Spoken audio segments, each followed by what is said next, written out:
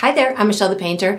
Today you're going to be watching a time-lapse version of my painting Autumn Horse. This painting that I did today is inspired by a photo that was submitted by one of my Patreon members by the name of Pascal. So I have a benefit for my Patreon members whereby they get to submit photos to me every now and again. I'll select some of them to turn into YouTube tutorials and I'll send the original off to whoever sent in the paint or sent into the photo. So I hope Pascal likes the painting.